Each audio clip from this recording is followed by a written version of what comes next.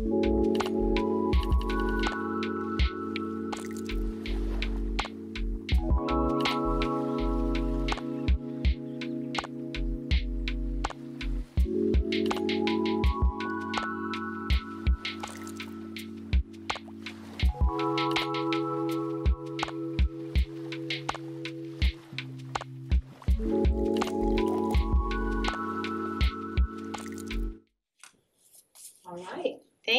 Welcome, everyone, to the Historic Preservation Board's um, study session on, let's see, what's the date? March twenty-first, twenty twenty-two, at six twenty-nine, six thirty PM.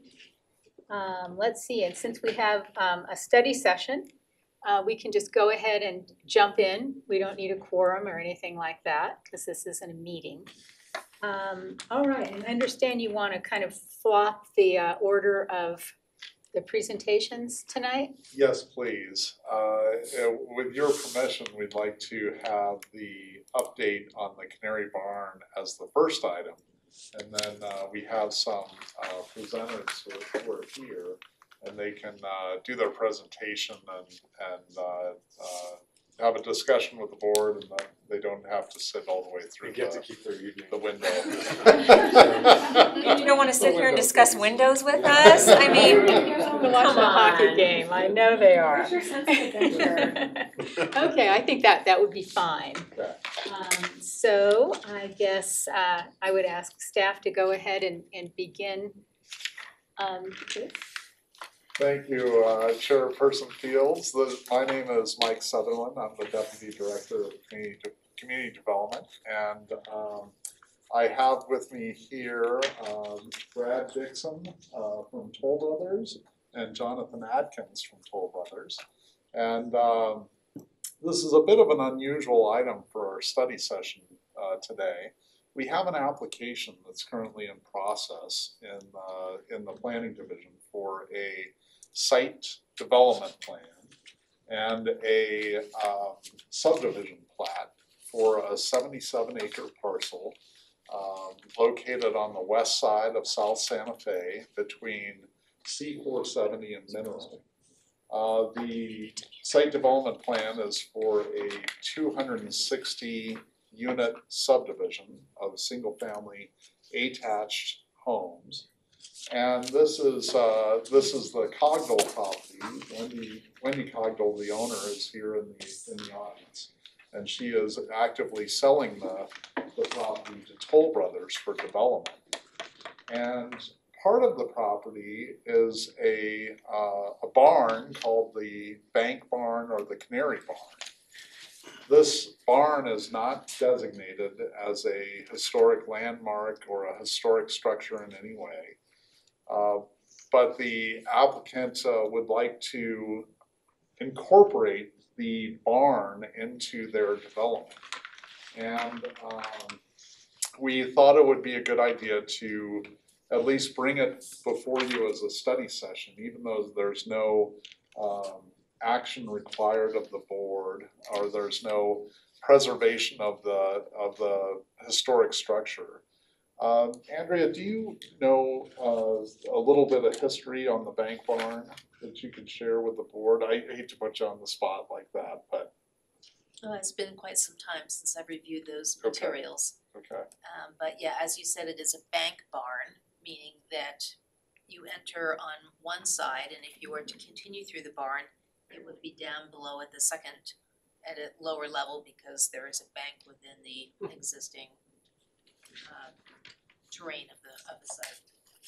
And the the barn has been there for quite some time as part of that large property, and it is historically significant, but it is in poor shape, as I think we'll learn. thank you. Do we have an idea of when that, that barn was constructed? Nineteen eighteen. Nineteen eighteen. Gotcha, okay, thank you. Uh, so, oh, yes, It's also um been determined eligible for the National Register. Louder, please. It's also Yeah. been determined eligible for the National Register. Pardon? It's also been determined eligible for the National Register of Historic Places. Well, we can't hear you. Okay. Uh, if you can't hear, uh, just raise your hand and we'll speak louder. Thank you.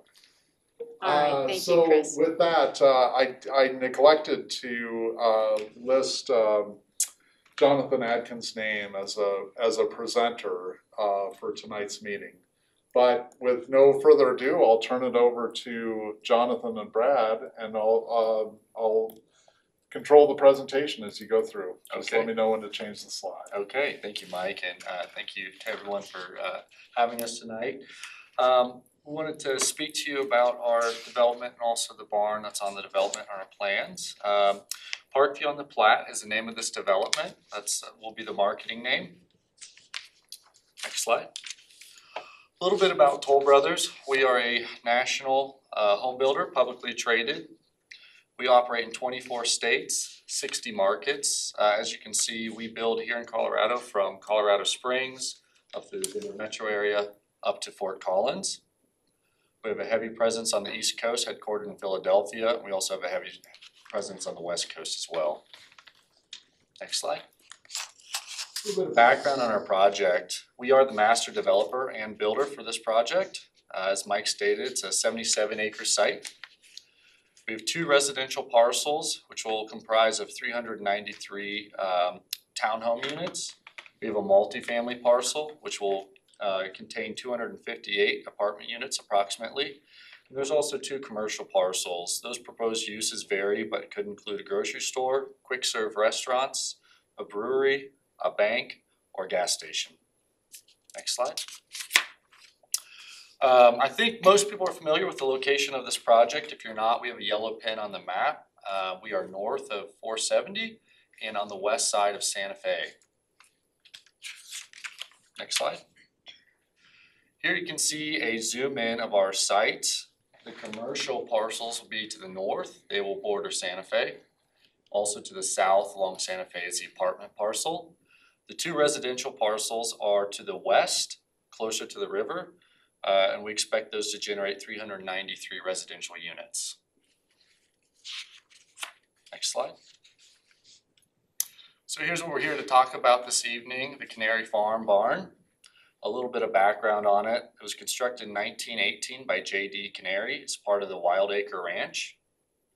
It was sold in nineteen thirty-two to Charles Phillips, who then used the land for a cattle grazing operation. And then in the mid nineteen forties, it was sold to Kenton Enzer. The property was uh considered very seriously for a suburban housing development in the nineteen fifties. And in nineteen sixty-two, uh it was turned into a um turf farm. The barn was used to store uh cultivation equipment.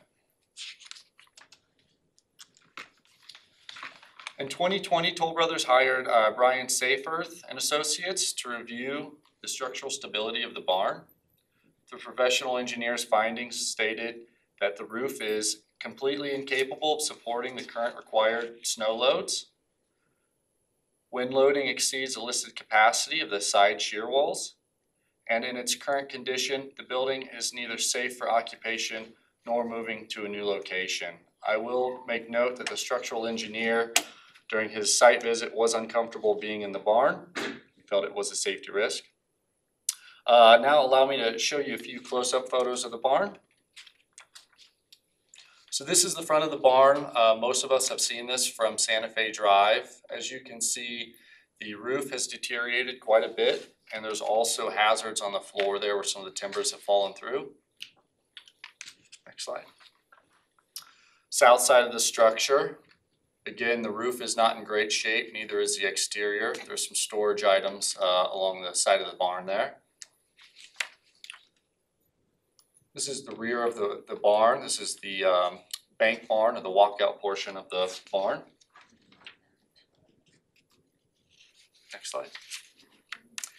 And this is the south side of the barn. So this is the side that receives a majority of the sunlight. As you can see, the roof is uh in very poor shape. And then if you look down low at the uh concrete foundation, there's uh a degraded concrete foundation with structural issues there as well. Uh, next up is a photo of the interior. Uh, as you can see, uh, years of neglect and use as an equipment storage building have less, have left the interior of the barn in poor condition. Also presents, uh, several challenges. It's, uh, structurally unsound, as we mentioned earlier. We also have concerns about asbestos and lead paint and lead piping that were used in the original construction.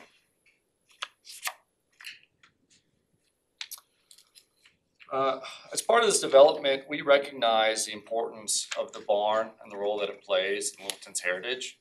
We did consider moving the barn as constructed, but it was unfeasible due to the structural, environmental, safety, and economical issues as discussed earlier. After considering all of these issues, we put together a plan that we'd like to present tonight. We feel it honors the history of the structure and will provide a landmark gathering place for generations to come here in Littleton. So this is our proposed reconstructed barn. We'll have a rendering here in a couple of slides, but this is um an elevation drawing. Very similar to the current barn. Next slide. Inside of this structure, we'll have picnic tables, uh, it can be used for individuals or groups, so we envision this as a gathering place. Next slide. And here is the renderings of the barn, um, completed. So as you can see, it'll be a replica barn, it will use modern materials, it'll be built to modern, uh, building code, and it can be enjoyed for a long time. Uh, our plan is to take the timbers that can be salvaged from the inside of the existing barn and reuse them on the interior, not as structural elements, uh, but as architectural, um, design elements. And it also has that gambrel style roof that really, um, pays homage to the, uh, original barn. The location of the replica barn will be further to the west than where the current barn sits. The current barn sits where the apartment parcel is drawn. It'll be eight hundred and fifty feet away from Santa Fe Drive. It's currently about hundred and fifty feet away. Uh, this is going to help, uh, address the traffic and the noise that comes from Santa Fe. And it's going to allow the barn to sit in a location that is a little bit more in line, um, with its historic setting prior to the development of this part of town.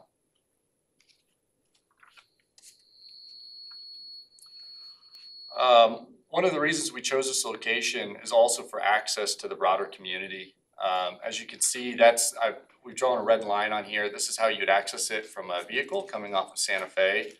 It's quite easy to get to. It'll be open to the public. And then also the trail system you can see on there is a multimodal trail system.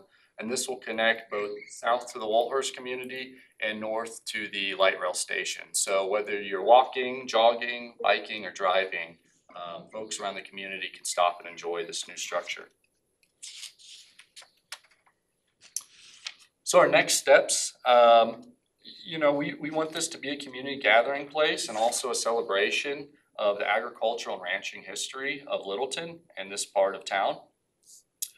We have hired a professional consultant who is helping us to gather documents which we can put together to tell the story of the area and to tell the story of the structure.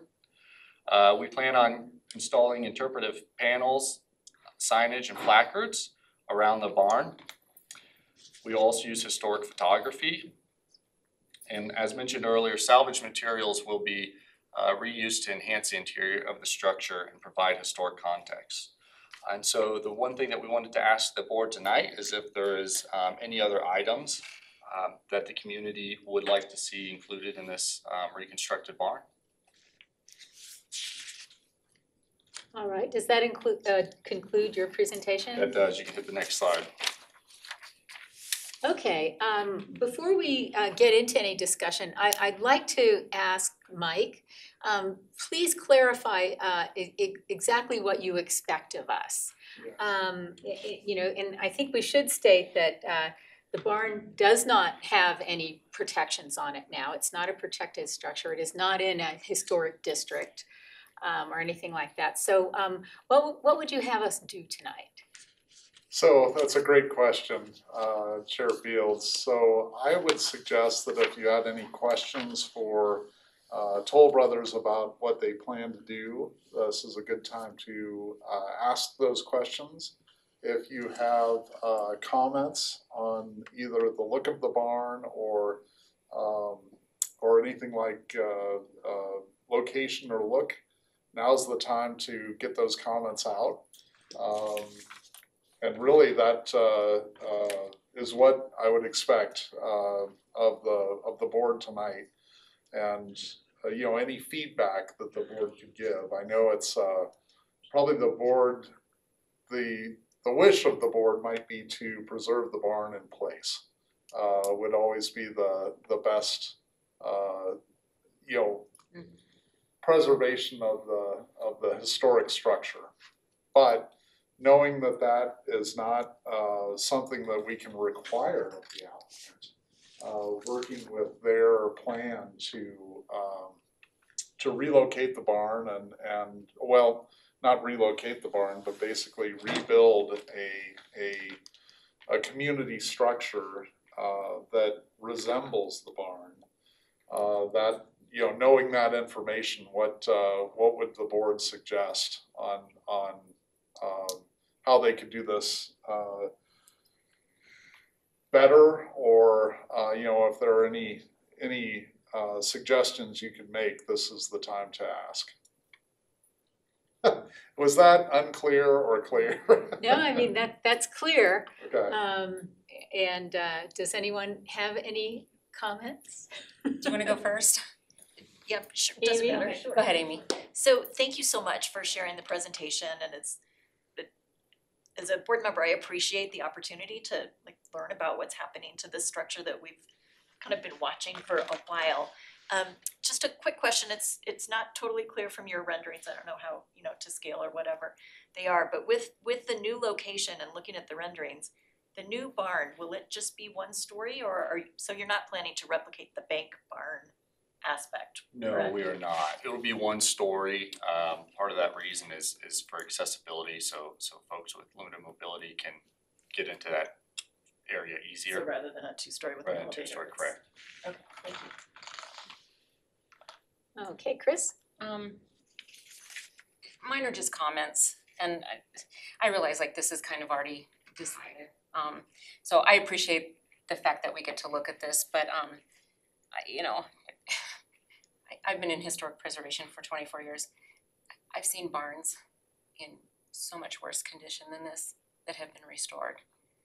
Uh, you know, it's, I feel like it's a matter of if somebody wanted to make this happen, it would be restored. Um, I, I kind of looked up the um, consultants who did the um, engineering assessment. I don't know what their background is, it, I couldn't tell, like if they've done a lot in historic preservation.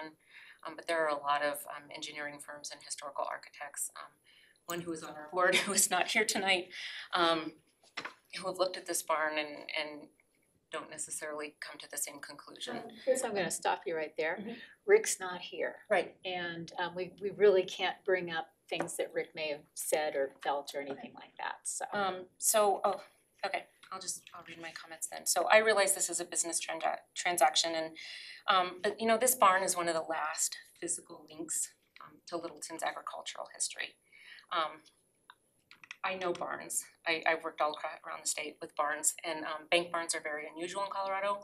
And I went and tracked all the barns in Littleton and we have, I don't know, five left and now we're gonna lose this one. It just, it really breaks my heart.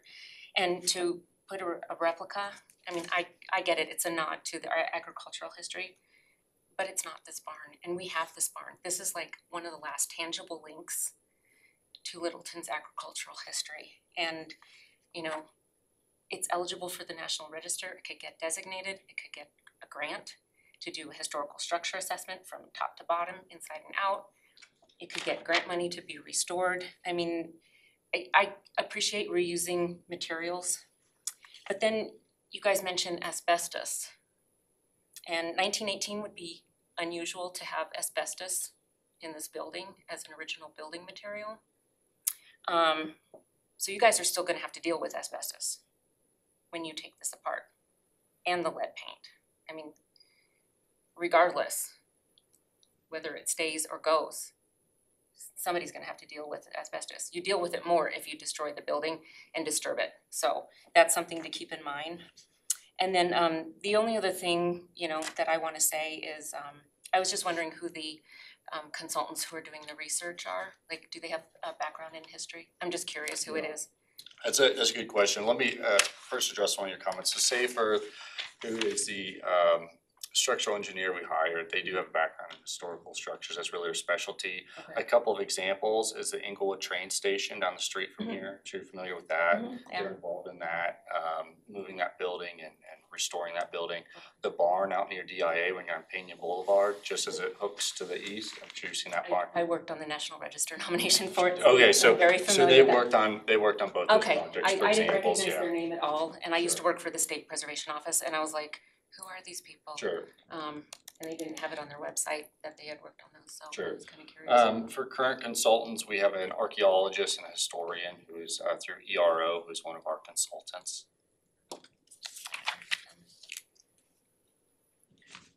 I mean, I I do, I appreciate it, and and I know you guys, I mean, it, you're a business and your business is to make things work and and make the money and um but every time I drive by this building, I'm like, oh my god, it's still there and I'm gonna drive by it one day.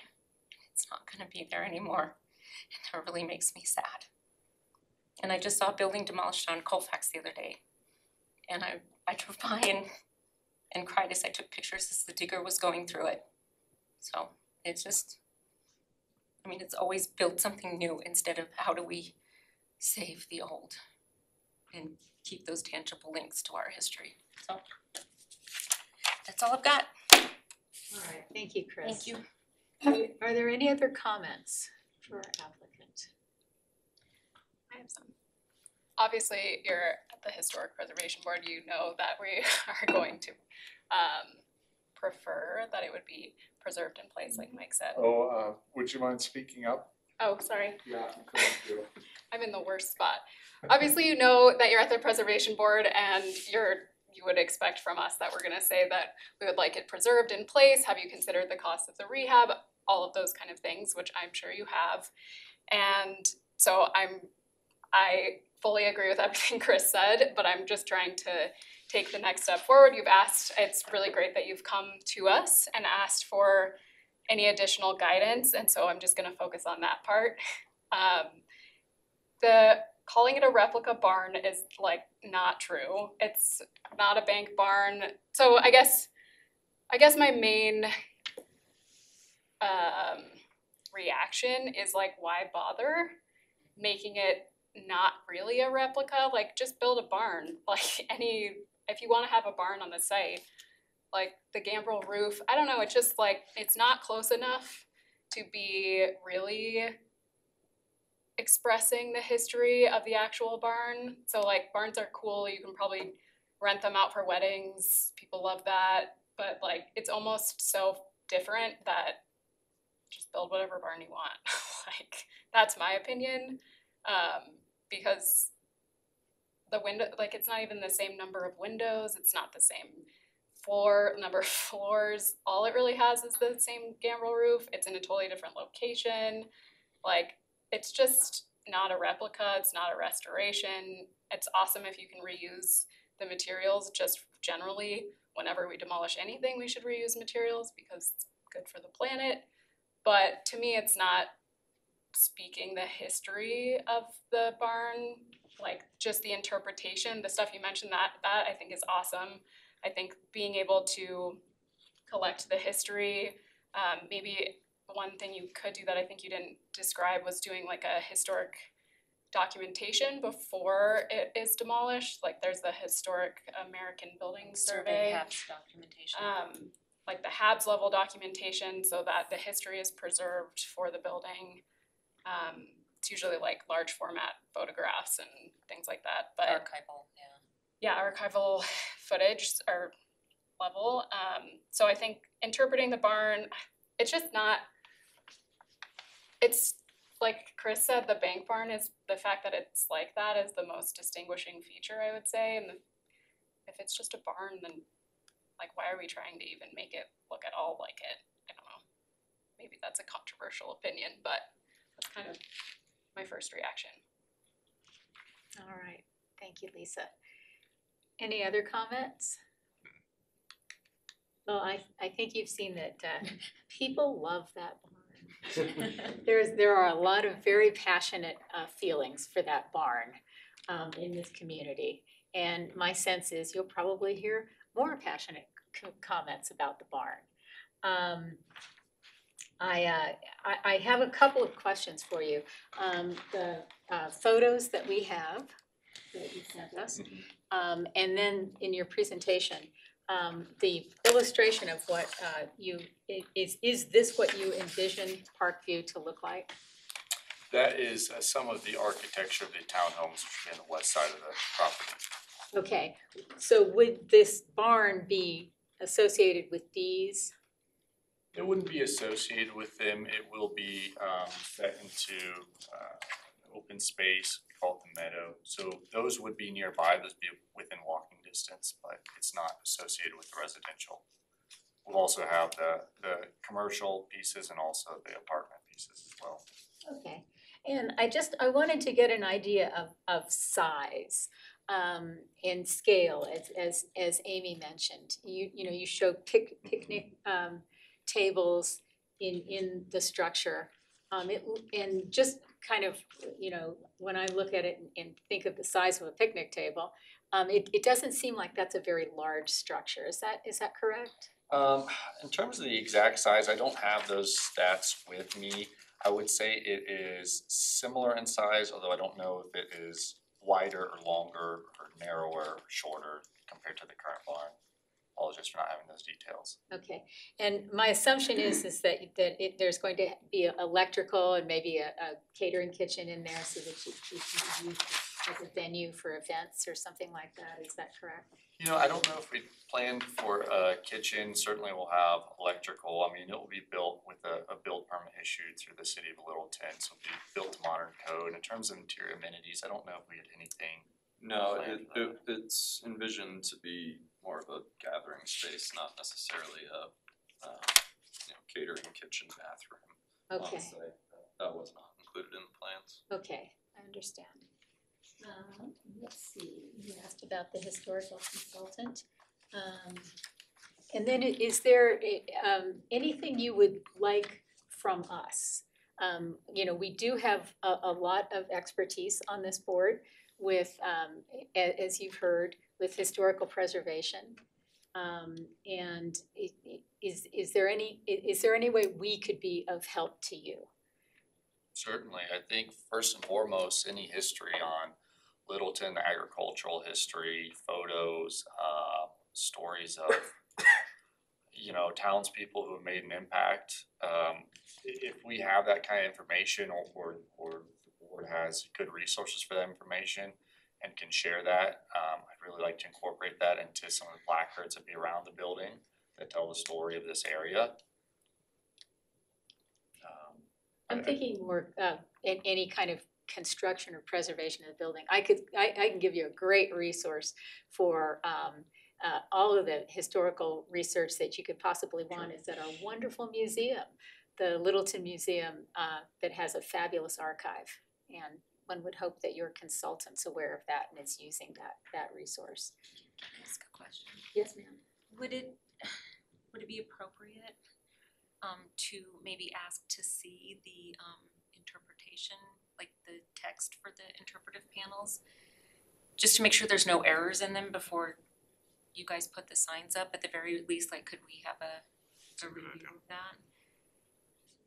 Yeah, I think we could, we could definitely arrange that. That would be nice, thank you.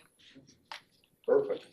All right, well, I don't have any, any other questions, and, um, you know, again, I, I, I think, uh, you know, this, people in Littleton just love that barn, and they love seeing it when they drive by on Santa Fe, and even folks that don't live in Littleton that, that drive that corridor, um, talk about the barn and ask questions about the barn. And, um, I should point out that my front yard has, um, Green Valley turf in it, and it's the nicest grass in the neighborhood. So anyway. I have one other thing, you said um you're using ERO Yes, Um, if I'm on the correct website, um, they do HABS HAER documentation, which is the building survey and then the engineering record, so you might wanna check with them. Um, if that's an option, sure. um, we could do that as well. All right, then if there's no more discussion, um, thank you. And, um, gosh, feel free to, to use us as a resource, um, in the future. Absolutely. Thank you very much for your time tonight. Thank you. Thank you.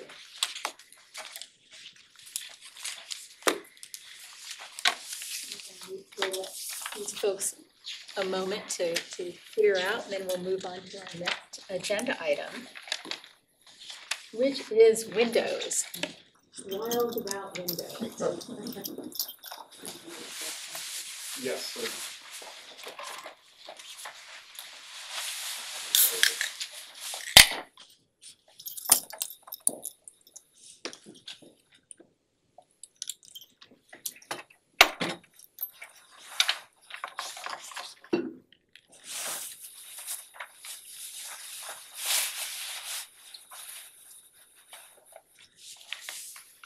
Yeah, I'm not sure that we got it on the, uh, That's right. I don't think so. Uh, You want to put it on the flash drive and we'll. You have it on your computer? I don't have the version that was, um,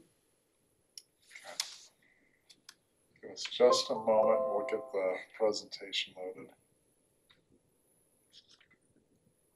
Okay. While we're young, please, Andrea. Uh, so, um, eventually, uh, it would be good to have feedback of, of whether that, uh, was valuable for you, that discussion.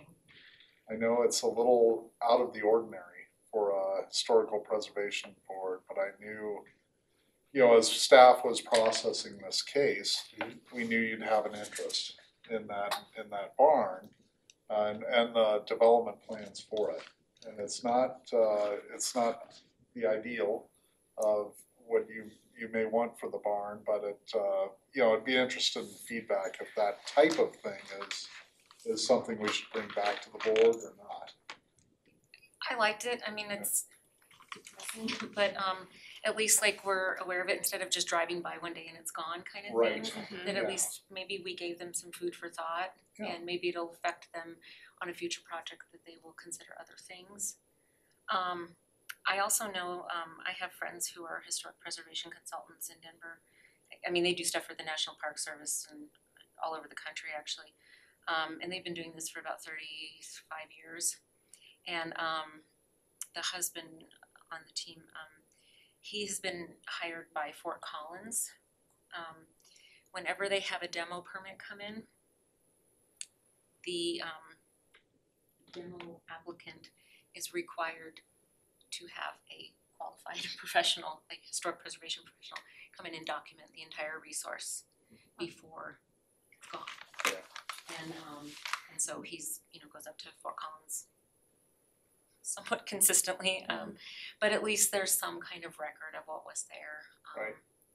And you know, some of it, it's nondescript, kinda, you know, it's not eligible. Um you know, in this case, like we have an eligible barn that could qualify for grants and stuff and I mean, there's potential there, um Right. so it's uh Yeah, I, I know, it's uh, tough, but at least, you know, like I said, they, at least they came to us and, you know, maybe if they get another project, they would come to us sooner now that they know um our feelings and and that we're here and that kind of thing, so. of course, we have been talking to them for a number of years now. Okay.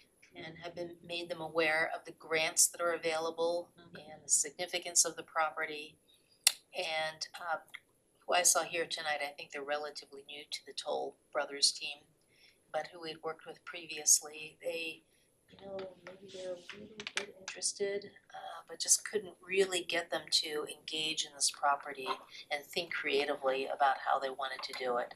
And without that designation, we were unable to really secure anything more than what you see here, some sort of a, if you wanna call it a, you know, a Andrea? replica or Jason, you have a question? whatever. And and I appreciate you you saying that, cause it it is, it's not, Yeah. it's not, Yeah. there's nothing that really connects the two and and you you wouldn't go into it feeling like, oh, I'm in a bank barn. And I think because a bank has a slope, that you could make that accessible um very easily. It's true, that's, Uh, that's true because it's a, because it's a ramp, yes, that's, that's true. into the barn, it's a grass ramp, you know, you could, so. Jason, did you have a question? Well, I was just gonna say, to the extent that this was a, a essentially a focus group for these guys, I think it was valuable. Uh, I think that your comments were great, I think yours, because to the extent that they're still just dealing with a bunch of CAD drawings, maybe they take some of that into, I'm just guessing, and maybe not, realistically not. But who knows, you know, they, they might take it into, I, I really got a lot out of your comments, and I hope they did too. And so- I'm familiar with Toll Brothers, they've done a lot of work in Virginia. Mhm. And um namely around Civil War battlefields, and they've been really respectful. Um so I was hopeful until I saw the thing and I was like, oh my gosh, this is no. It's and and I love barns, like I've documented so many barns across the state and it's just bank barns are very unusual. Yeah. Well, it is, it's absolutely unusual, there's not another one, certainly in the South Metro area. Um, and I don't think there's one in, you know, all the way up to Broomfield. Um, They're just very I think the, atypical. the, re- one of the real keys is, um, it seems like the, the horse is already out of the barn, so to speak. But, um, the documentation is, I mean, that's something you can do now. I mean, you can, I think you can require that now. And, uh, because that's a, that is a significant story to tell. It, really figures into Littleton's history and that building is significant. So the documentation, I think, I think would be fabulous, but Well, I think the um the amount of money they're gonna make on the number of units going in, um they could shell out a little bit for HABS HAER documentation and that way at least we have yeah. archival. Okay, we, we won't get into their business plan or anything, but, um, okay. A- anything else on, on the barn? No, it's cool. I'd li- I'd love more of that. That, that, to, to the extent that your, your question was, are we interested in hearing these? Totally, yeah. Sounds good. The better. Yeah, well, I, I appreciate the opportunity to be informed. Yeah. What's going on with that. Teach us about windows. Windows. Okay, well, good evening. I'm Andrea Mimnaugh, Senior Planner with the Community Development Department. And tonight's study session is second in a series to explore the idea of establishing a window policy to complement the city's historic preservation program. The first discussion was held at HPB's January meeting, and the purpose of that was to determine how a window policy could be beneficial to the preservation program. And then HPB provided staff with policy topics to explore in more depth at the end of that meeting.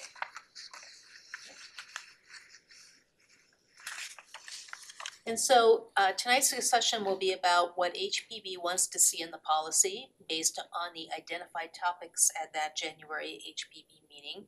And to assist with tonight's discussion, the January packet included examples of window policies from other communities, which the board had an opportunity to review, and some other materials and also a video on historic windows.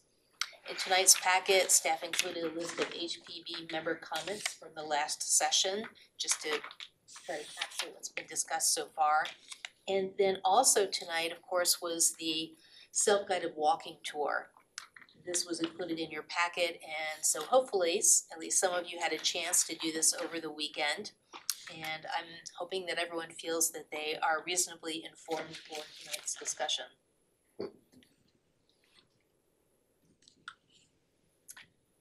And so we're gonna just quickly go over these policy uh questions that were identified last time around. The first one was, how does an applicant make a case that a historic window is beyond repair?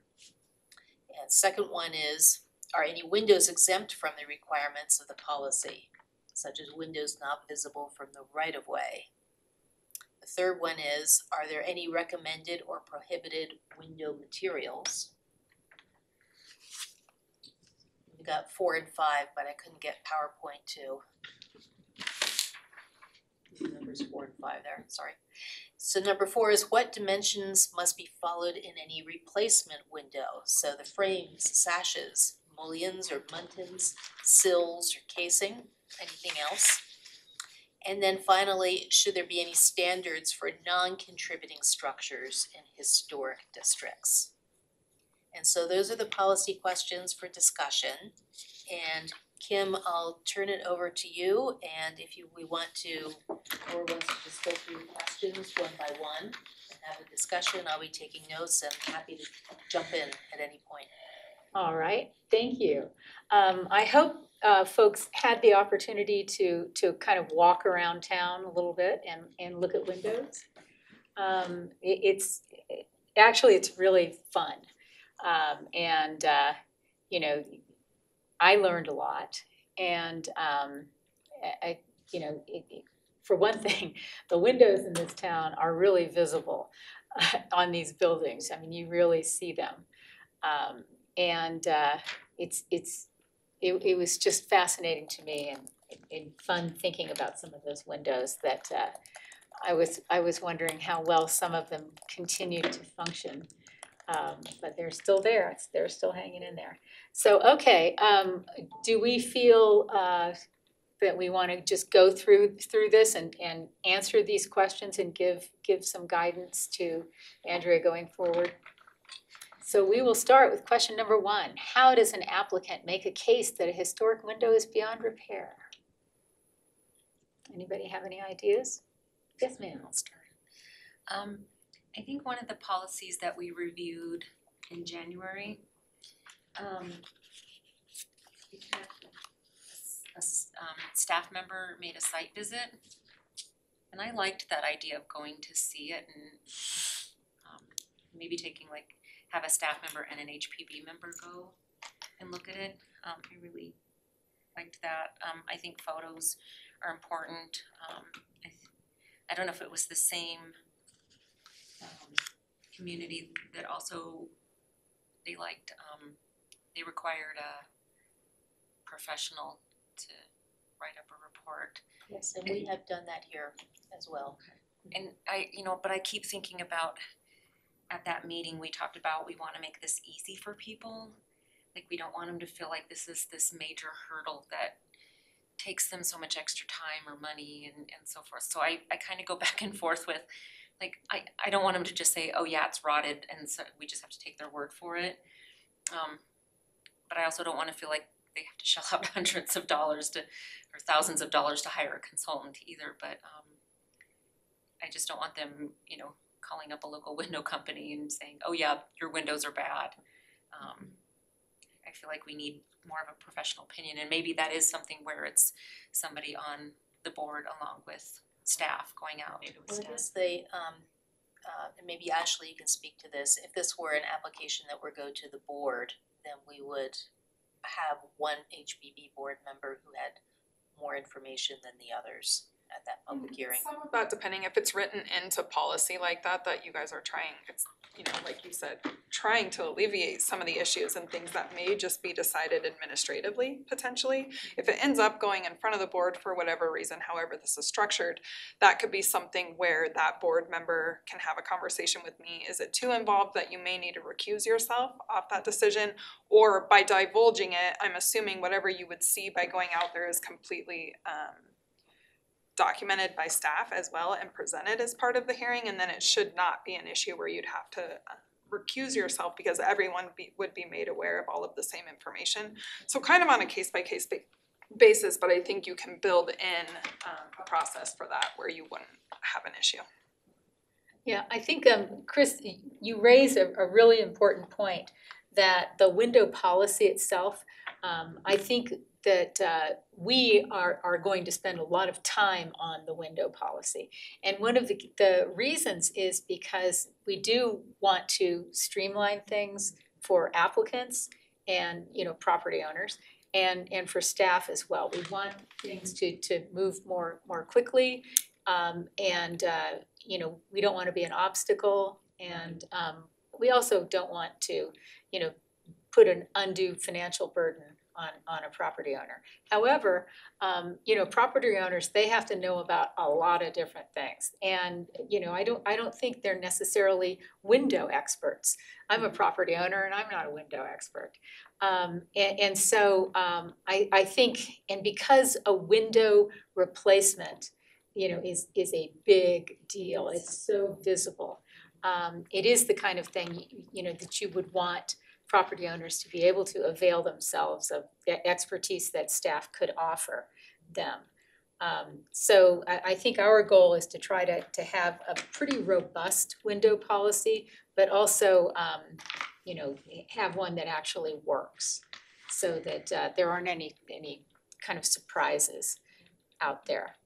Um, I I guess a good question right now would be, how, do we have a deadline for having this window policy?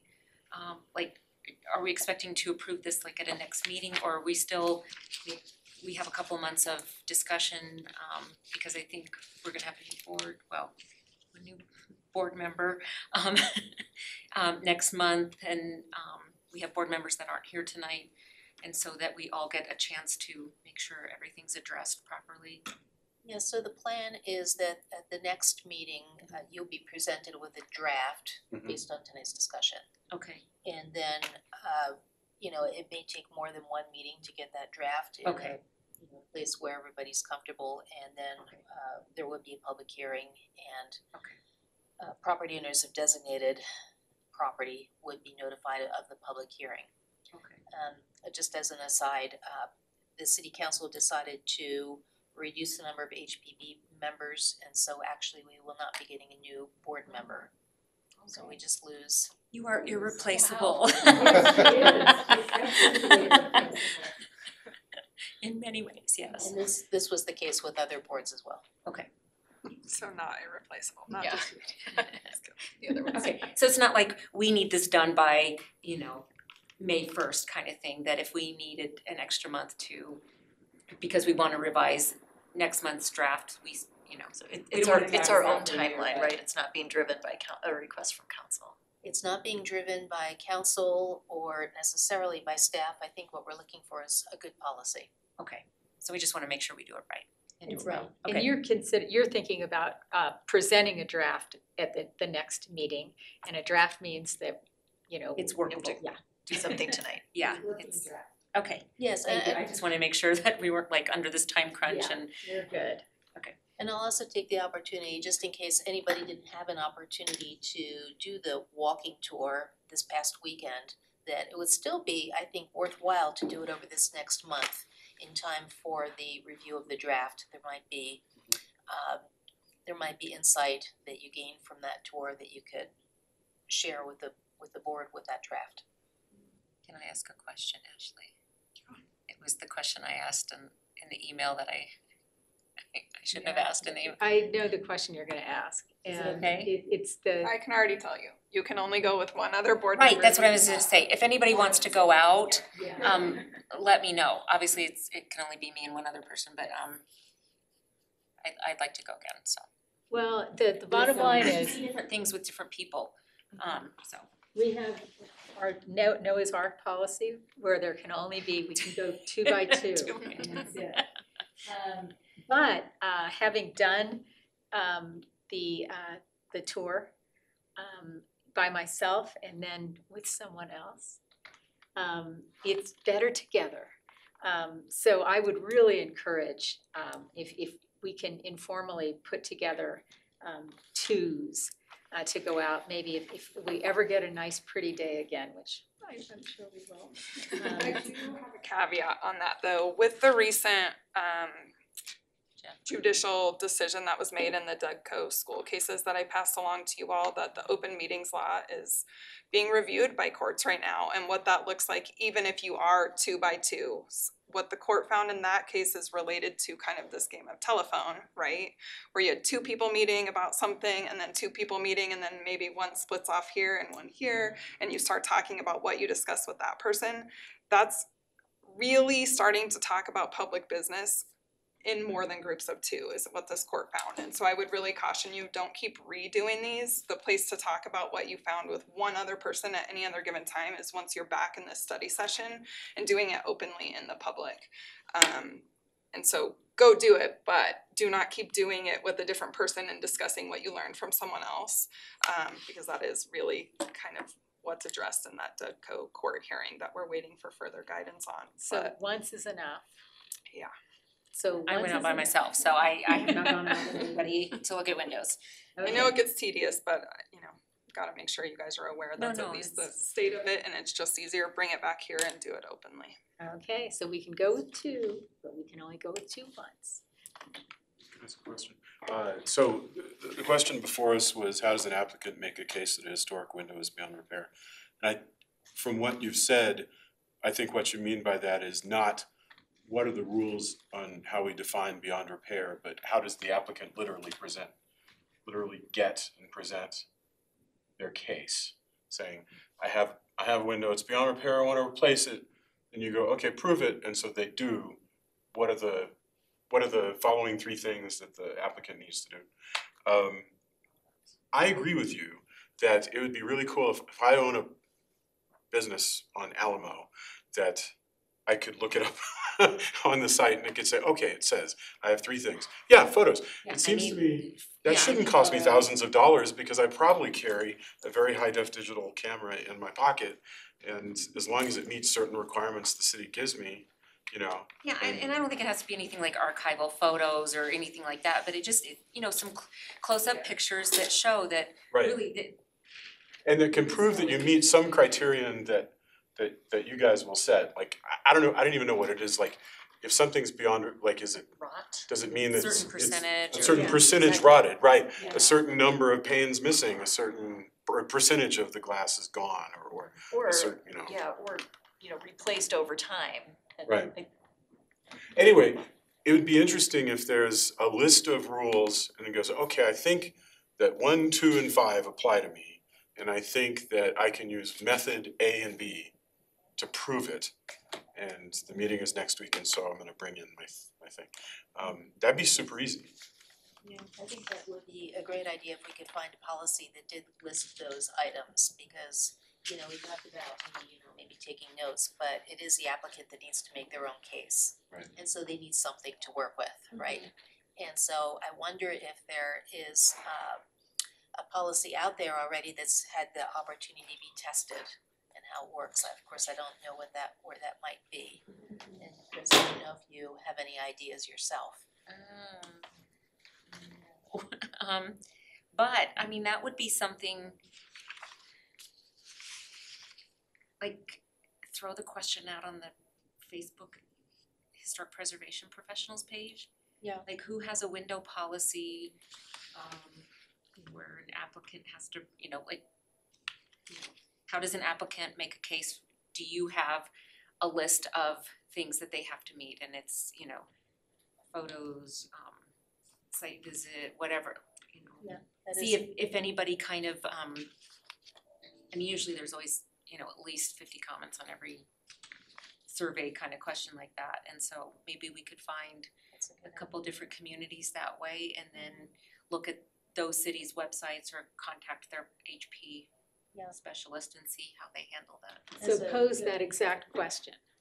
Yeah, just like we are, you know, in Littleton, we are looking at um creating a window policy and um why reinvent the wheel? Does anybody Yeah. have a policy where there are certain criteria and, you know, people have to come in and say, I have photos, I have this, that, the other. Um, you know, like you said, you know, one, two, and five on this one and, you know, A and B on this one and you know, and can we see, you know, would you be willing to share your policy or can you give us your website so we can look at it? That'd Just be so we great. can, Yeah, you know, com- I for agree. comparison's sake Yeah. and. I think Andrea knows Yeah, kind thank of you for the questions idea, I do. I am, I'm on, I'm on that Okay, yeah. listserv and I read it all the time and uh, in all my years, I actually don't remember that question. So it would Yeah. probably Could be benefit a lot of but- communities to be able to to read that as well. Yeah, that, okay, And good. and sometimes people pose questions that are like, this might have been up here before, but you know, I'm new to the group kind of thing and and so Sure. people don't mind. And there's always new people joining and different communities, you know, getting involved with it, so And And you can search it too. yeah, so I think we could um I think we could hit something there. Lisa? Yeah, I was just gonna say, I I think a window survey is something that should be required and it can be either just photos that the owner takes themselves and, you know, documents what each window, like window number one, um, and gives good photos, or it can be a consultant giving, you know, and it depends on the scale of the project. There, if it's a bigger project, they might have the budget to actually get like a historic consultant that analyzes the the um condition of each of the windows, or it can just be somebody's house and they just take pictures and they show us like what you guys were saying. Maybe there's five features like rot and a broken whatever pane, everything we just said that they Sill need to meet. problems or And something, yeah. Yeah, I was thinking the National Trust, I mean, everything, it's hard because like the real strict preservation would say that everything should be repaired, so it's hard to Yeah. or could be repaired.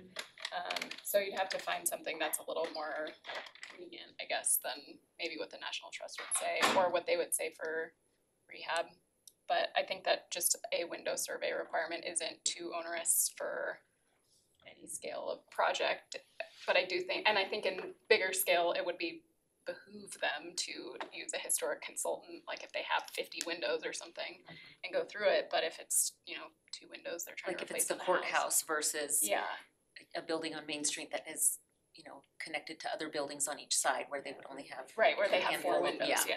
yeah. Yeah, and close-up photos, overall photos, just a window survey would be the requirement, that's what I think. All right. Uh, we ready to move on to question two? Are there any windows exempt from the requirements in the policy, such as windows not visible from the right of way? I'll start. I feel like I'm always gonna be like, um, but this is what you want, right? You want comments. Um, I- you know, I, I have mixed feelings about this. Um, you know, I wanna say, like, the rear is kind of, but I feel we need to do, um, distinguish between commercial and residential. And I think the other thing we need to keep reminding ourselves of is this policy applies to all of Littleton, it's not just Main Street. And I know we're, the, the tour kind of focused on Main Street, but this is gonna be something that covers all of Littleton, and so, um, you know, residential, um, we might see, you know, just as much, um, as we would with commercial, and so, you know, on a historic house, are we really gonna see the rear of the building?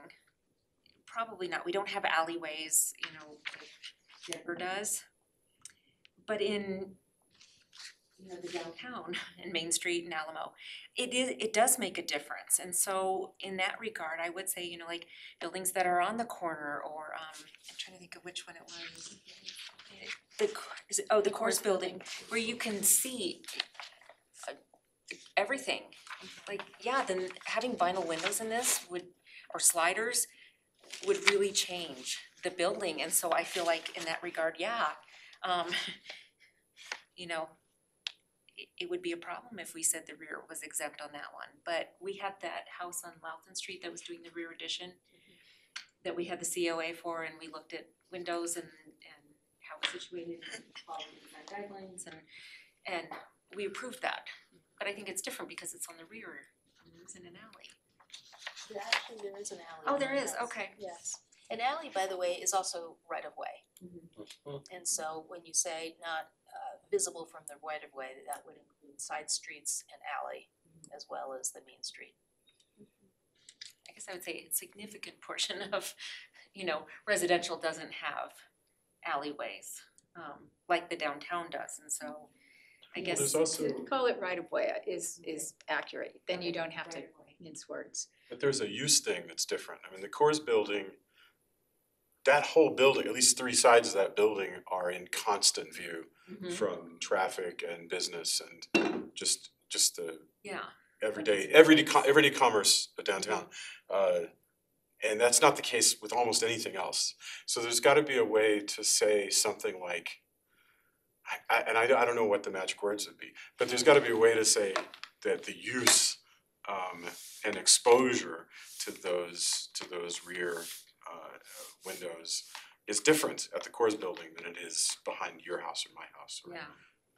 Well, and I think corner buildings, you know, when Yeah. I'm not, I mean, I I survey buildings and, you know, when we take pictures of corner, we take five pictures instead of three. Mm.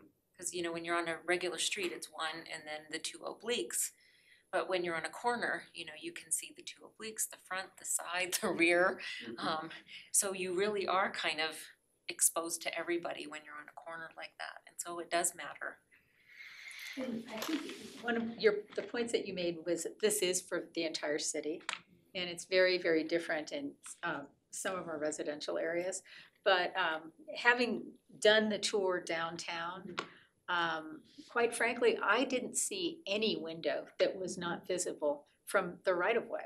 I mean, there, you know, we have alleys, we have uh, you know, alleys that are used, they're working alleys. We've got that one fabulous alley that's four blocks long. We've talked about activating that alley. People are using it. um, a- And, and you can see it. You can stand on one corner and you look, you know, a block away and you can see the windows. The upper stories certainly are visible from. Yeah, they really are. I, and, and it's, it's just, I was amazed at how, how much visibility we have at all of those windows. Um, and, uh, so as, as far as, uh, that, that Main Street Historic District, the Downtown Historic District, um, I don't think there are any windows that, that That are exempt, really yeah. were exempt. Yes, ma'am. I think that the windows that are actually invisible from the right of way though should have, should not be something that we review as a board. Like that should definitely be an administrative matter review. policy. Yeah. Right. And there should still be guidance for those, I think, but I think it should be more flexible. Um, so if we go with something more specific, like material or size or things like that for things that are visible from the public right of way, the ones that are not visible, maybe it's more, it's just more flexible what they can do with that. Um, cause I don't think that that's something that, um, definitely not something that needs to come to the board if you can't even see it from, from the public right of way. And, you know, you can, historic preservation, there's always an art to it. You can't create, you can't create standards that apply in every situation, because it really is a visual, you know, looking at it, you have to make your determination based on what you say, on what appears to be correct, and there's some things that appear to be not consistent with uh historic character. Right, and I, I, it's not that it wouldn't be reviewed, it'd be reviewed by staff, and I trust that you would make that decision and be able to apply that policy without having to bring them to a board for that. Is there ever a time where like the right of view would change, like if buildings around a historic building change? So like where one window may not have been visible, if a building around it changes, then it is now visible? Unlikely, but I guess that is certainly possible. For example, if you had a non-contributor on Main Street mm-hmm. and it was approved for demolition. Right. And now all of a sudden you have a vacant lot in the middle and all of a sudden it Yeah. turns out that there are Side. some windows on the side that all of a sudden, after all these years, Yeah. Well, then the policy would apply. I mean, some kind of a- magically, they're visible now, and so the Yes, right. policy would apply now. Or unless they'd already been replaced. Sure. You know, true, truly historic, would that then change? Just something to consider maybe. Mm-hmm. Well, how about if something comes to you that's supposed to be administrative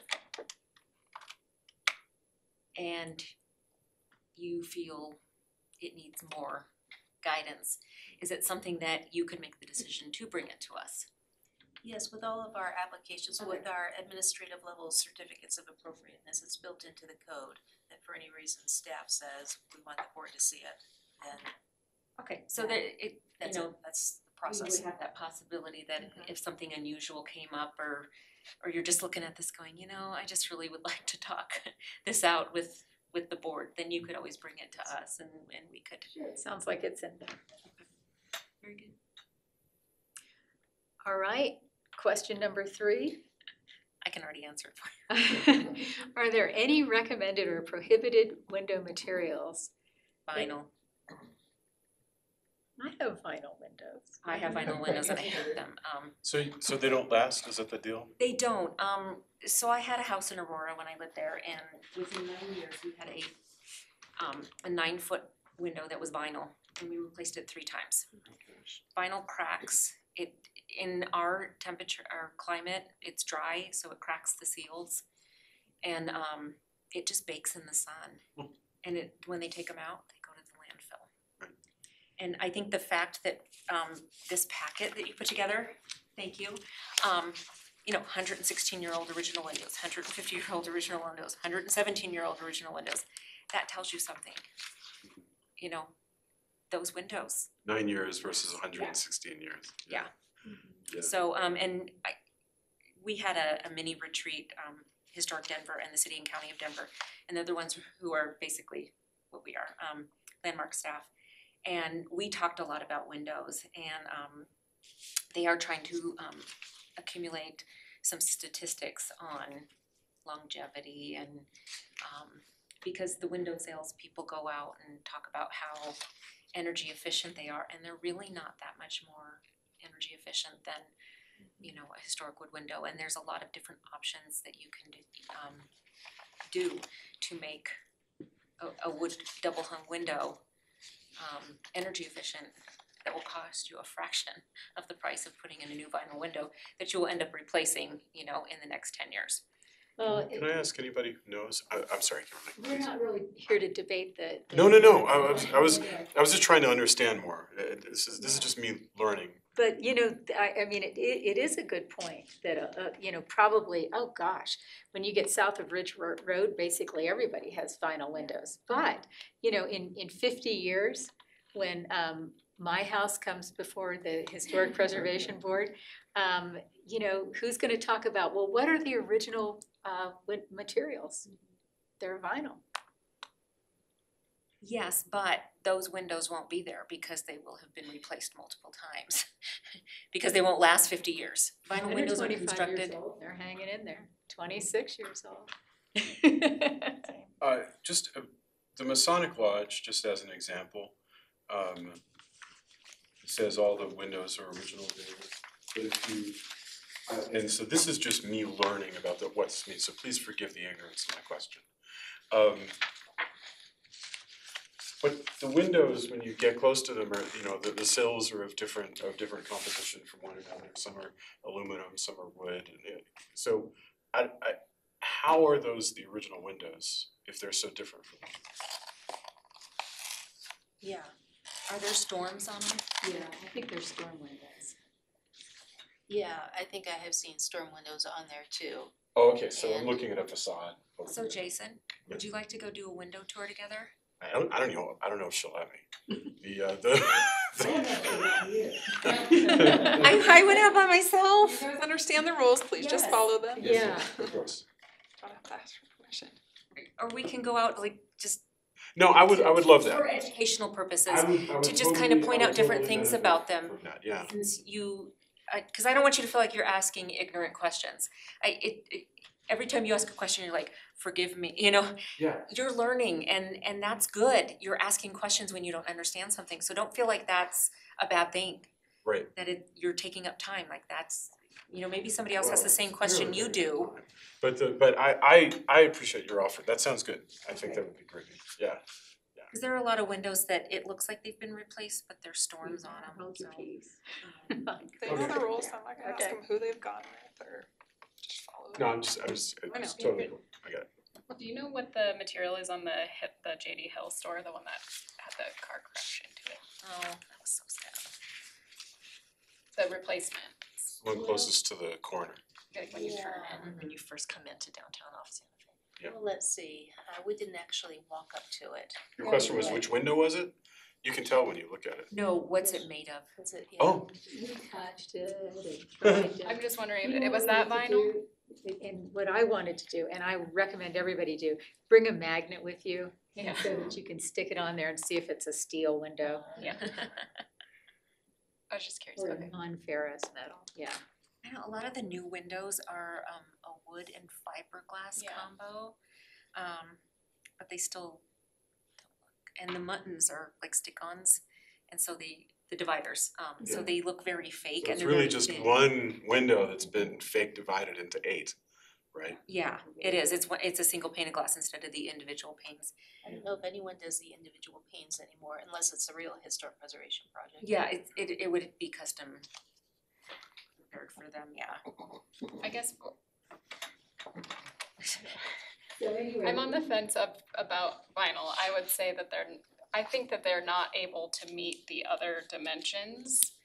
So they would be kind of excluded anyway, if we were to be specific about frames and mullions and muntins and things like that, then you wouldn't be able to find a vinyl window, especially the casing can't match a historic one. Um, I do go back to the flexibility of like, if that is somebody's house and it's on the back of their house, why do we Yeah. care if it's vinyl and it's not, like, Yeah, why see, do that I we- wouldn't care about. um, but if it's like a main street, you know, the main commercial um window, I do think vinyl is inappropriate because it's not able to replicate replicate. If you need a magnet to figure out whether it's steel or wood, that's a pretty good And replica. it's a good replica, right? But vinyl is pretty obvious. Well, and I think like the Elks edition example you gave, um, you know, it says, what issues might window replacement bring up? And one of the notes I made was changing the fenestration pattern could make it look more disjointed.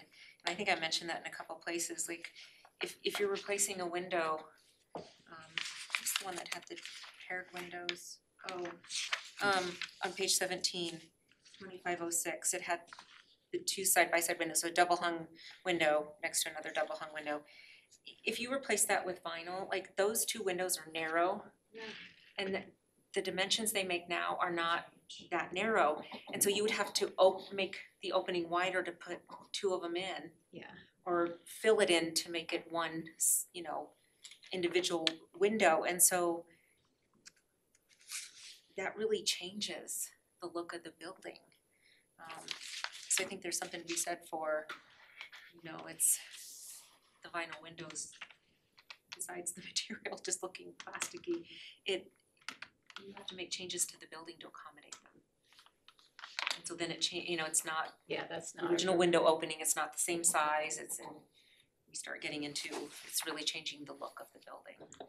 So is it fair to say, uh, maybe taking into account some magic words to facilitate what mm-hmm. Lisa wants, which is if something is not at an important view, you know, in other words, it's not, it doesn't have some significance that we define somehow.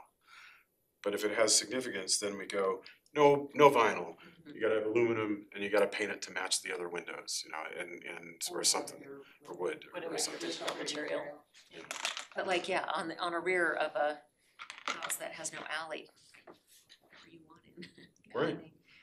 Also, that will get goodwill from the citizens, that they don't have to worry about a But it- footfall. I guess, that, you know, there's a part of me that feels like if you buy a historic building, like you have to have some kind of awareness that it's a different kind of maintenance gig.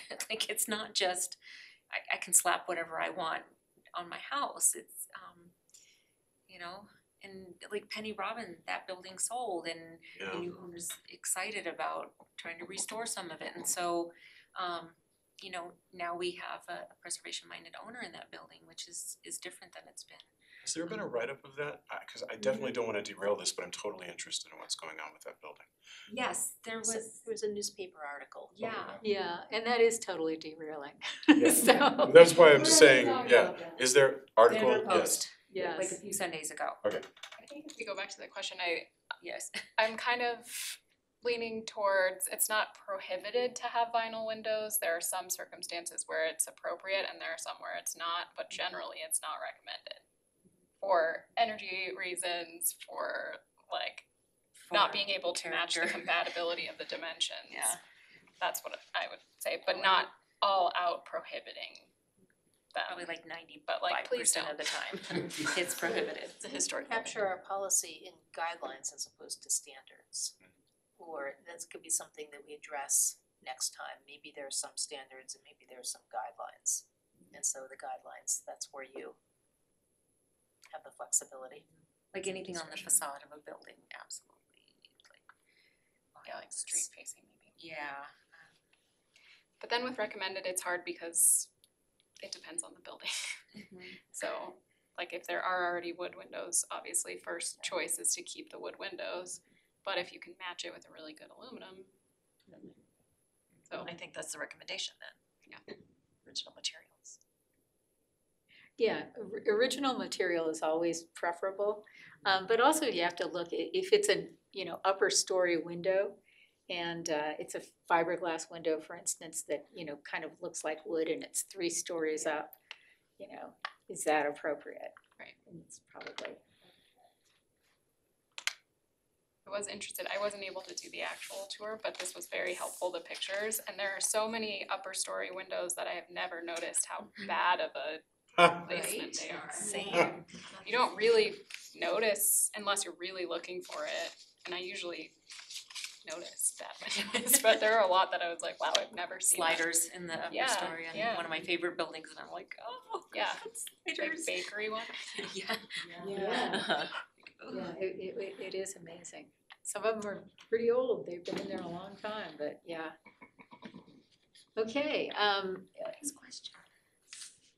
I, I, gosh, I, I, I don't know that, um, I don't know how valuable it is to, to go through every single kind of prohibited window material. I mean, it, it could be that, you know, in some cases, um, an aluminum building or a steel window or, or, or a window would not be appropriate, but you can't just, you know, have a prohibition on steel or on, on aluminum or something like that. So, Well, and you know, here's another like food for thought. Um. What if we have a, say in eighteen ninety something like something on Alamo. And then in the nineteen fifties, they put in, you know, steel casement windows. Well, those are historic as well. Right. They, you know, they're not original, but they're still historic. It's not like they put them in, you know, five years ago. They were put in, you know, seventy years ago. So how do we deal with something like that? So maybe you have some that are replacements from the fifties, and then maybe some are the original that are wood. Uh-huh. And they want to replace the steel perhaps, or the wood perhaps. Do you try to get it consistent, or do you keep with what has been, Mm. because that's what's historic? Yeah, It's like the Green Bride. Yeah. Yeah, I, you know, it's like, that's one of our last, you know, kind of mid-century um updating Right. And I would, you know, as as much as it would be neat to see like what the Green Bride looks like originally, I It's don't really really cool. like touching the, you know, the Carrara vitrolite, you know, at the bottom and that plate glass window and the angled It's entrance. like- taken on its own historical. it is. Yeah, it it it's it's it's significant in its own right and um and it shows the evolution of downtown and how Exactly. older buildings tried to modernize and and And so to your point about the nineteen fifties windows on the nineteen ten building, it's kind of the same thing. Yeah, I- yeah, I just, but I I think we kinda need to be aware of that because somebody could come in and say, well, you know, these aren't the original windows, so I can, you know. Yeah. So vinyl there's sliders original and, and then there's historical significance. yeah, Yeah, I think it comes, a lot of it comes back to like what the statement of significance for that Right. property was. Exactly, that's that exactly It has these steel windows, then it's more important that the steel windows are saved, but if mm-hmm. it's, you know, about cultural significance or something, then there's more flexibility, so. I'm glad to hear the love for the Green Bride. yes, oh And, yes, I And that's, it. that's the perfect example. Um, it, it, it is that, that that remodel, um, is, is the significant thing about that building at this point. Okay, um, Well, that that anything for you, but You recommended but not necessarily prohibited. yes, You can make an argument that as it is, it's it's significant. historic. And it shows that evolution like in the nineteen sixties, seventies, where they kind of went with that western neo mansard roof on a number of buildings. Yes, Yeah. but I think, you know, it's like you, the property owner in some cases gets, get the opportunity to decide, I want to restore it to this period or to this period. Yeah. So. But you can't just kind of take bits and pieces from what you like, you kind of have to do one or the other. All right, now we're on to what dimensions must be followed in a replacement window? We have frames, sashes, mullions, muntins, sills, casing. Does everyone remember the difference between a mullion and a muntin? I really appreciated the diagram. I was just. Yeah, that's very Oh, mullions. Yeah, mullions? Well, the mullions are the separate panes of glass, of which Uh-huh. we don't have many in Littleton, right? The muntins are the The separate muntin is the divider, glass. is like Yes, a the divider piece that within within the divides. glass. When I, when I think of what I call a mullioned window are the ones that have, you know, The squares. They're individual panes, and the the muntin is the the part, for clarity's, like just for argument's sake, um, our discussion. Like if you have a divided light window, like, and it's a wood window, then it would be wood to make it like, say, you know, nine panes of glass, there would be three vertical and and three horizontal. Um, and those are the ones that now are becoming stick-on ones on a single pane of glass. But mullion, and that's not on the diagram. I Well, think the they, mullion, I believe, is what we have here, it's on the the last action- page. oh. It's where you have the two windows together, and then there's a piece that separates the two windows. Oh, okay. Like when you have a paired window or a group Paired of window, right. windows. The in-between piece. Yeah, it's it's thicker. It's not like the the individual pane. You know, it's interesting that um we have five um window parts up there. And um I think, you know, just my opinion, I'll throw it out, I think changing any of those would significantly change the window. Yes. So I guess the answer that I would give is um yes to all of To them. all of them. Yeah, I mean, Do it- it's, think so? Yeah, I agree. yeah, I think there can be like a little wiggle room. I think I said that last time, like within an maybe or so, cause they just can't manufacture things exactly the same, Yeah. but absolutely like the number of lights, the sashes, the The general, opening, yeah, the opening. yeah, with, like you said, Opening within, For sure. And I do think like the muntins, the inter, like if you have the interstitial spacer, spacer, I think is what it's called, you can have the applied, but then there's like a piece of something in between, and so it looks more like it's a divided light window. Those usually look better. so mullion is defined as a vertical bar between the panes of glass in a window. So it's between the glass, It's vertical though, um, just the vertical. it's just the vertical, so then the question is, how about muntin? Let's see. A bar or rigid supporting strip between adjacent panes of glass. And you can, uh, I I think, making any of those changes, um, one of them is, um, gosh, I always forget what the, the block is. Um, do, do, do, because I just walk downtown, I don't pay attention to what the streets are. Um, the one where, uh, the ballet physique is in the wine shop. um, The back of building. Now, you look at how, how those windows march down the street, and then that one is just so different. It looks upside down, it looks top heavy. Yeah, that's a problematic building. They they installed them upside down by accident. Yeah, but that's, this is the, the look, I guess it's Nevada and Main Street, uh, the Lilly Building and stuff, Mhm. you know, you see those windows marching down the What street. you expect to and they're all the see same. throughout. And then it, it's jarring to not see that. So we, that, that, we should go that one.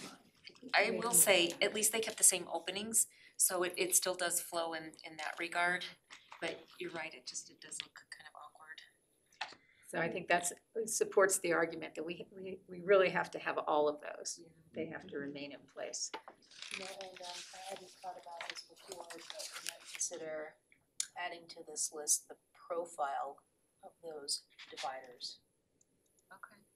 of The the profile, muntins. explain. So, well, on a, on a poor example of um muntins, they'll probably just be flat, right? Um, but the originals would have had three D element to them, Yeah, they're kind of beveled or, s- you know, Yes, right, Yeah. and so it catches the light and the shadow and has a very different look than just a flat just a smooth reflective. Interesting.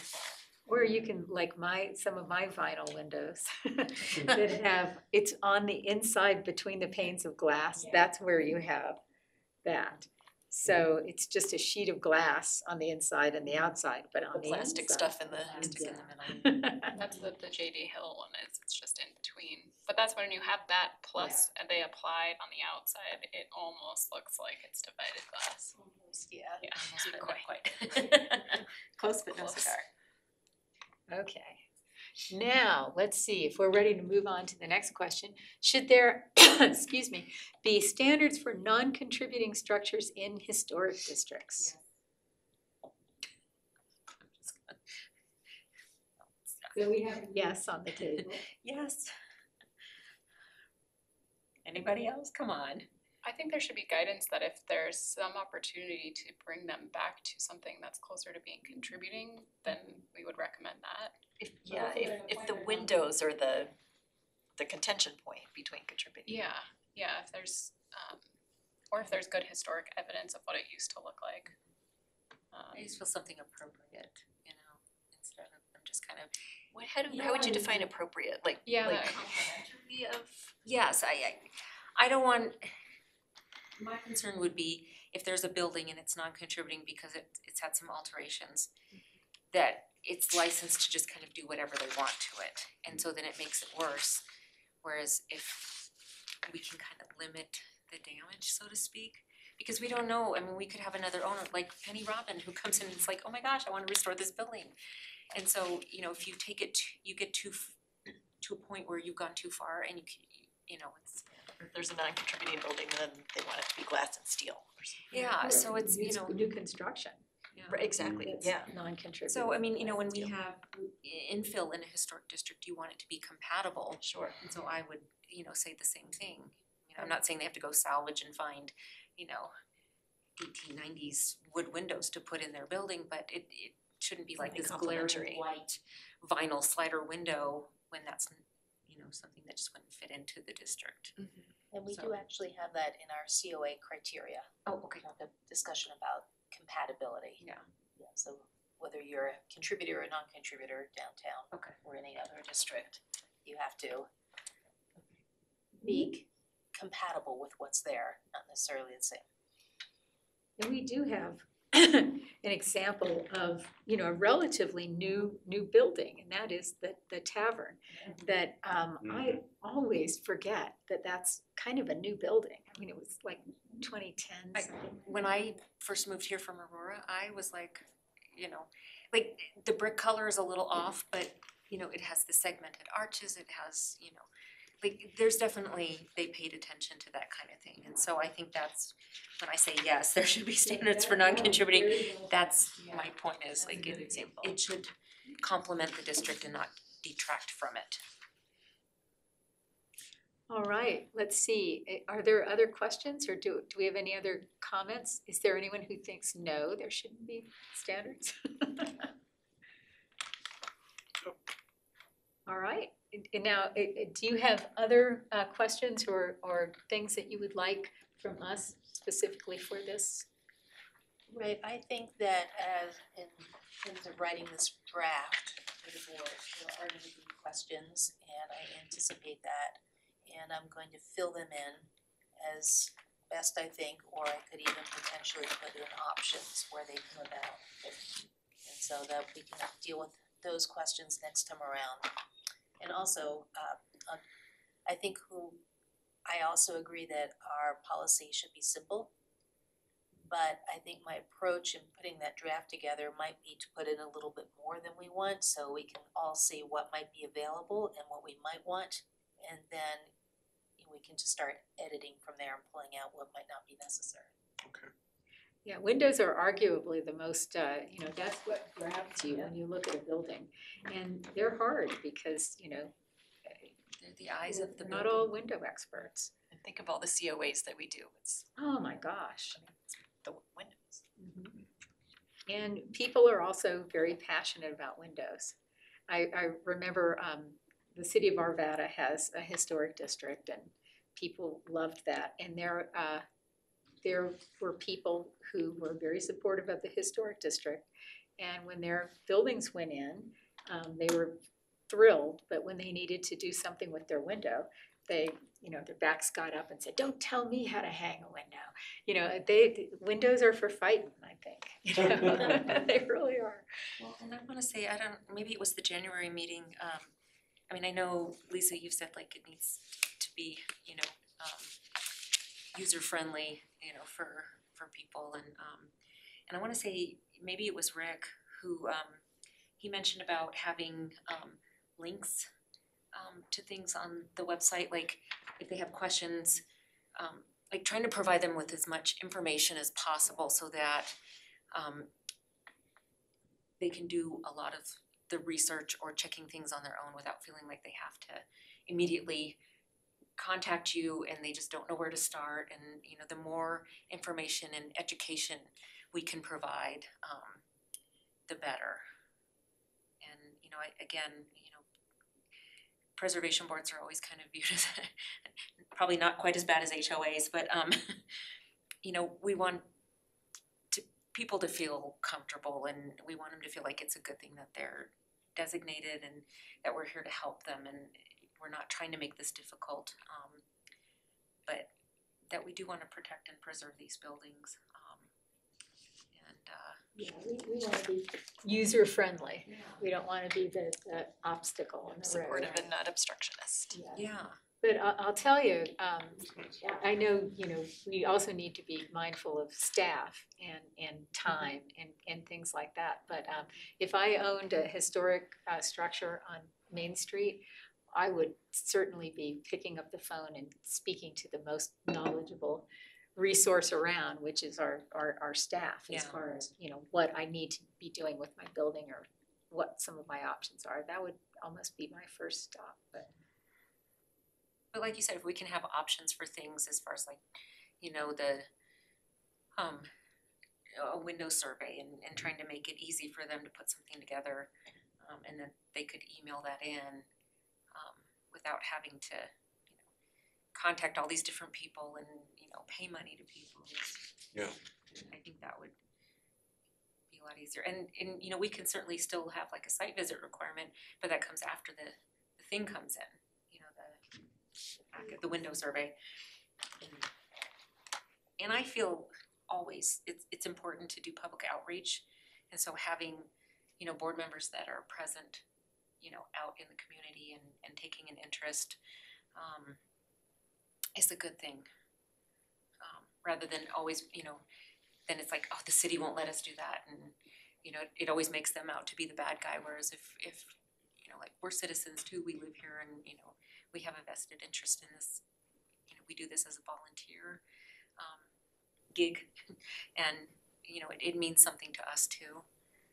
Um And it's always best to get out in front of, of the plan, because if somebody comes to you with the window they wanna install it, you know, they're kind of married to that window and it's hard to get away from it. So it's nice to, you know, get have, have people go in the right directions to begin with.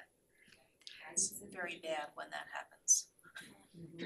So, um, are we, are we happy and good? Do you have, have the direction that you would like? I do, thank you very much. And uh there, I will be seeking more direction once you see the draft. All right, very, very good, and that'll be in April. Um, Well, we, we believe so tentatively. Okay. Yeah. Okay. all right. Um, and so before we adjourn, um, I, I do wanna say a couple of things. I'm so mad at you that you're not gonna be on the board. You have just, you know, I just can't say enough about what you brought to this, this party. I mean, you, you, you are just an amazing person and you, you have taught me so much, you've taught all of us, and you've, you've improved things. Um, the, the legacy list program that you put together was absolutely awesome. And, um, I just, I look at you and, and I think you are just going to do such incredibly great things. And it's been a real pleasure to have you on this board. Thanks, Yeah, it's been a pleasure to be on it. Very sorry to be years. You. You'll I'll be still be missed. around. But you'll be missed. Yeah. You have a lot of good insight. Um, I, I get very emotional and, and passionate and, and then you say something and I'm like, oh, I knew that, or yes, like that's such a good point, you know? So I I'm gonna miss that from you. Feel free to come to public comment anytime Oh, and yeah. share all your wisdom. Oh, yeah. Cause you do kind of always bring it back to the actual issue and definitely appreciate your insight, so Thanks, guys. best of luck. And Paige, we're so happy to to have you and and a new little baby and everybody's happy. That's that's just wonderful. And we don't have Laura with us tonight because um she just had a knee replacement and Is she um, okay? Doing okay? You know, she is, but it- it hurts. And um, yeah, so she she is is home. She fully expects to be back next month. Um, and Rick obviously is not here tonight, but he is fully expects to be back next month. He's in Texas. No, he's in he's in Las Vegas, the bum. That's even He's in worse. Mesquite. Mex- Mesquite, Nevada. Oh, there's more than one Mesquite? Yeah, I think so. There's like a big golf course there in Nevada. Yeah, he's golfing, I know that. That's what he's doing. Figured it was Texas, well, Nevada's not much, but. And, and also, um, I will be stepping down as board chair for, in, in April. So there are leadership opportunities for, uh, board chair and, um, uh, vice chair. So if anybody is so inclined, if you'd please let me know. Um, and, and we can talk about what might be involved and stuff like that. Um, and it's, it, I have, I've thoroughly enjoyed it for three years. Um, I was vice chair and then two years as chair, and I've, um, I've truly enjoyed it. It's really great. And so I, I would encourage, you know, any, anyone else who would like to take up the mantle of leadership. And I should point out that you do have full use of the, um, Littleton helicopter.